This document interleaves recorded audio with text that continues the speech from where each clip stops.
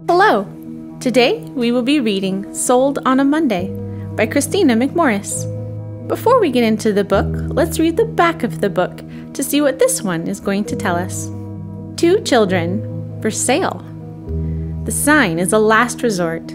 It sits on a farmhouse porch in 1931, but could be found anywhere in an era of bread lines, bank runs, and broken dreams. It could have been written by any mother facing impossible choices. For struggling reporter Ellis Reed, the gut wrenching scene evokes memories of his family's dark past. He snaps a photograph of the children, not meant for publication, but when it leads to his big break, the consequences are more devastating than he ever imagined. At the paper, Lillian Palmer is haunted by her role in all that happened she is far too familiar with the heartbreak of children deemed unwanted. As the bonds of motherhood are tested, she and Ellis must decide how much they are willing to risk to mend a fractured family. Inspired by an actual newspaper photograph that stunned the nation, Sold on a Monday is a powerful novel of love, redemption, and the unexpected paths that bring us home. A thousand words will not leave so deep an impression as one deed. Henrik Ibsen. Prologue. Outside the guarded entrance, reporters circle like a pack of wolves. They wanted names and locations, any links to the mob, and every newsworthy detail for tomorrow's front page. The irony wasn't lost on me. In the hospital waiting area, on the same chair for hours, I raised my head when a doctor appeared. He spoke to a nurse in a hushed tone, his full mustache peppered like his temples, vibrating with his words. My shoulders coiled into springs as I searched for a look, a suggestion of the worst. Tensions heightened around me from the others fearing the same. The sudden quiet was deafening. But then the doctor resumed his strides, his footfalls fading around the corner. Once more I sank into my seat. The air reeked of disinfectant, bleach, and the cigarettes of nervous smokers. From the tiled floor came a shrill scrape, a chair being dragged in my direction. Tiny hairs rose on the back of my neck from more than the sound. Upon learning of my involvement, an officer had warned me a detective would soon be here to talk. The man now sat down to face me. Good afternoon, he removed his brimmed hat in active casualness and rested it on his lap. From his pinstriped suit and tidy haircut to his perfect white teeth, he was a recruitment poster for J. Edgar Hoover. I didn't catch his name or the formalities of his introduction. My mind was muddled from waves of worry and lack of sleep, but I could guess what information he wanted. No different from the journalists amassing on the street, ever eager to pry hungry for answers I hadn't fully grasped. Only I could escape from this place and moment in time. How nice it would be to leap forward by a week, a month. The unseemly rumors would have long been buried, the puddles of blood mopped clean, and the outcome of this day endured. I envisioned myself in the dim corner of a cafe being interviewed by a young reporter over coffee. His fresh faced zeal would remind me of the person I once was, back when I first moved to the city, convinced that aspiration and success would crowd out the darkness of my past, the sense of not being worthy. What a relief, he would say, that everything turned out fine. For some, of course, not all. Then I heard, Can you tell me how it all started? The reporter in my head blended with the detective before me. I wasn't entirely sure which of them had asked, and yet as if through a lens, I suddenly viewed the past year with astonishing clarity, saw the interwoven paths that had delivered each of us here, every step a domino essential to knocking over the next. With no small amount of regret, I nodded at him slowly, remembering as I replied, It started with a picture. Part 1 Photography is the act of observation. It has little to do with the things you see, and everything to do with the way you see them. Elliott Erwitt. Chapter 1 August 1931. Laurel Township, Pennsylvania. It was their eyes that first drew Ellis in. seated on the front porch of a weathered gray farmhouse among the few homes lining the road surrounded by hayfields, two boys were pitching pebbles at a tin can. Ages six and eight at most, they wore no shoes or shirts, only patched overalls exposing much of their fair skin tinted by grime and summer sun. The two had to be brothers. With their lean frames and scraggly copper hair, they looked like the same kid at different stages of life. And then there were their eyes. From as far as twenty feet away, they grabbed hold of Ellis Reed. They were blue, like his, but a shade so light they could have been cut from crystal. A striking find amongst the blandest of settings, as if they didn't quite belong. Another drop of sweat slid from Ellis's fedora down his neck and into his starched collar. Even without his suit jacket, his whole shirt clung from the humidity. He moved closer to the house and raised his camera. Natural, scenic shots were his usual hobby, but he adjusted the lens to bring the kids into focus. With them came a sign a raw wooden slat with jagged edges. It bowed slightly against the porch as if reclining under the weight of the afternoon heat. The offer it bore, scrawled in chalk, didn't fully register until Ellis snapped the photo. Two children for sale. A breath caught in his throat. He lowered the camera and reread the words. Really, they shouldn't have shocked him. Not with so many folks still reeling since the market crashed in 29. Every day, children were being farmed out to relatives or dropped off at churches, orphanages, and the like, hoping to keep them warm and fed, but selling them. This added an even darker layer to dire times. Were there other siblings being spared? Would the brothers be separated? Could they even read the sign? Ellis's mind whirled with questions, all lacking presumptions he would have once made.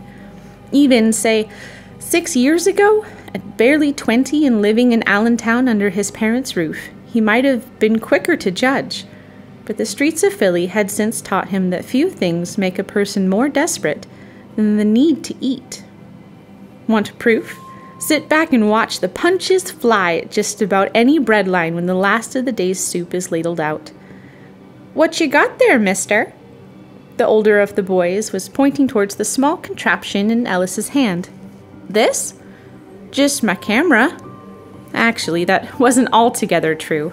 It belonged to the Philadelphia Examiner, but given the situation, clarifying seemed unimportant. The small kid whispered to the older one, who addressed Ellis again as if translating for his brother. That your job? Making pictures? Fact was, Ellis's job of covering fluff for the society page didn't amount to much else. Not exactly the hard nosed reporting he'd envisioned for his career. A gopher could do the same work. For now, the older boy nodded and tossed another pebble at the can. His kid brother chewed on his dry bottom lip with an air of innocence that matched his eyes. They showed no hint of knowing what life held in store. Probably a good thing. While children who were adopted as babies were often raised as real family, it was no secret how kids acquired at older ages were valued. The girls as nannies, seamstresses, maids, the boys as farm and field hands, future workers at the factories and mines. Maybe, though, it wasn't too late for these two, at least not with some help. Ellis peered at the front windows of the house, searching for movement beyond the smudges. He strained to catch the clinking of pots or a whiff of boiling stew, any indication of a mother being home. But only the distant groan of a tractor and the earthy smell of farmland drifted in the air. And through it all, came thoughts of reason. What could he possibly do for these two? Convince their folks there had to be a better way? Contribute a whole dollar when he could scarcely afford his own rent? Both brothers were staring at him as if waiting for him to speak. Ellis averted his attention from the sign. He scoured his brain for words with real meaning. In the end, he came up empty. You boys take care of yourselves. At their silence, he reluctantly turned away. The plinking of rocks on the rusted can resumed and then faded as he retreated down the country road. Fifty yards ahead, the Model T he'd originally salvaged from a junkyard waited with windows open. Its radiator was no longer hissing and steaming. Somehow, its surroundings, too, had changed. The sprawling acres, the crooked fencing, only minutes ago Ellis had found them interesting enough to photograph for his personal collection. A decent way to pass time while his engine cooled from the August heat. Now they were mere backdrops to another tragedy beyond his control. As soon as he reached his old clunker, he tossed the camera inside, a little harder than he should have, and retrieved his jug of water. He refilled the radiator and prepared the motor by adjusting the levers and turning the key. Back at the hood, he gripped the fender for leverage and gave the crank a hearty jerk. Thankfully, a second attempt revived the sedan. Once behind the steering wheel, he chucked off his hat and started on his way, more anxious than ever to return to the city. In less than an hour, he'd be in a whole different world. Laurel Township would be a speck of a memory.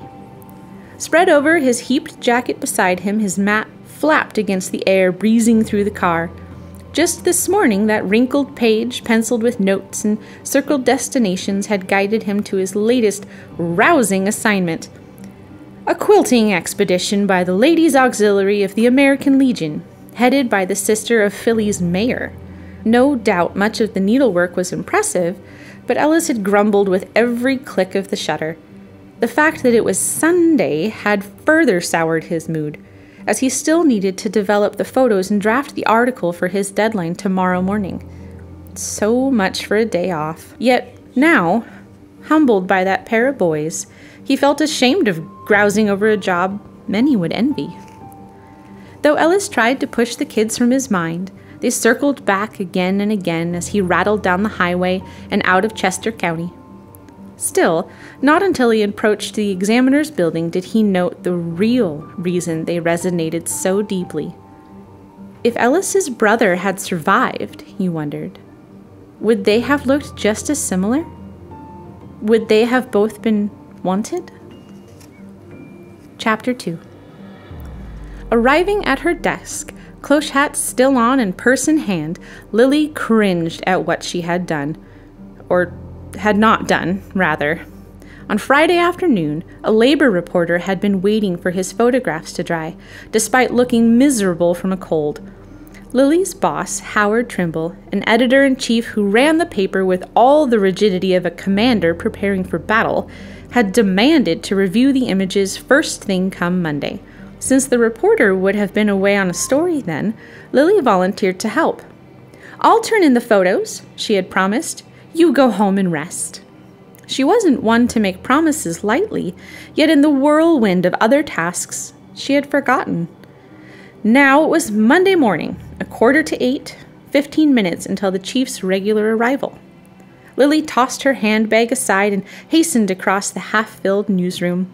Mumbled conversations traveled across the desks, each butted up against the next. In a regular changing of the guard, the examiner's daytime staff was edging out the remnants of the night crew. Beside the elevator, she climbed the stairs, a faster route when ascending a single floor, and emerged in the composing room on the fourth level. Morning, Miss Palmer. A young, long limbed fellow stood to her right with an armful of files. The name of the new hire escaped her. She responded with a smile, only slowing when he pressed on. Supposed to be another sweltering week ahead? Apparently so. You do anything over the weekend? She had made the two hour trek to northern Delaware as usual, to her real home, not the ladies' boarding house nearby where she resided during the work week. But the purpose of those trips, like so much else in her life, was not something she could share. I'm afraid I'm in a hurry at the moment, but enjoy your day. With another smile, she proceeded past him to reach the door in the corner. Fortunately unlocked, it led her into the pass through. The sign on the second door, Do Not Disturb, was flipped backwards, indicating that the dark room was not in use and safe to enter. Inside, a thin chain dangled from a light bulb overhead. She gave it a tug, illuminating the small rectangular space with an eerie red glow. The air smelled of developing solutions that filled an assortment of trays set among supplies on the counter lining a wall. More than a dozen photographs hung from a wire that stretched the length of the room. Towards the end, just past shots of women proudly displaying quilts, Lily spotted the three pictures she had come for. scenes from a steelworkers union meeting. She quickly retrieved an empty folder from the counter and unclipped the trio of photos. She had just finished storing them when a sight pulled her gaze. It was a simple picture of a tree, unless a person looked closer. The old oak stood in a field, alone, almost sad. Its branches reached forward as if longing for something unseen. She surveyed the next image of initials carved into a splintered fence KT plus A.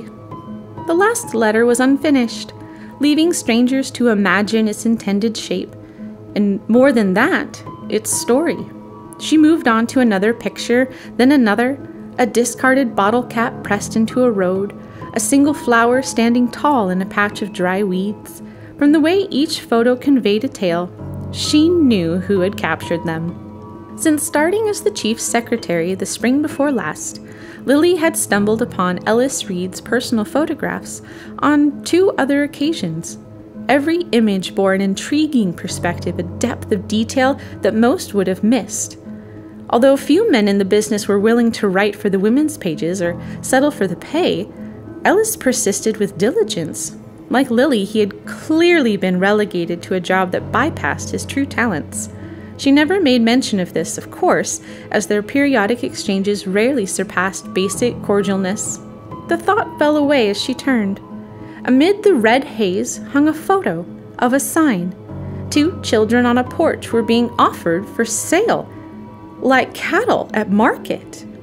All at once, a tide of emotion rushed through her, unearthing old sediments she had worked to bury the fear, the pain, the regrets. Nonetheless, she couldn't look away. In fact, even as moisture clouded her eyes, she pulled the picture from its clips for a closer view.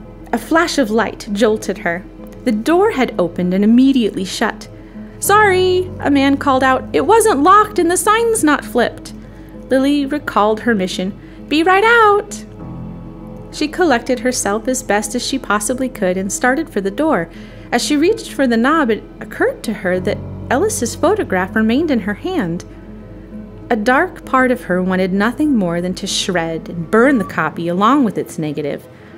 But an internal voice supplied another idea. She could make something good out of the utterly horrible. She could bring children too easily forgotten to the foreground, a reminder that each of them mattered, a hard won lesson from her past. Without another glance, she added the picture to her folder and opened the door. End of chapter 2.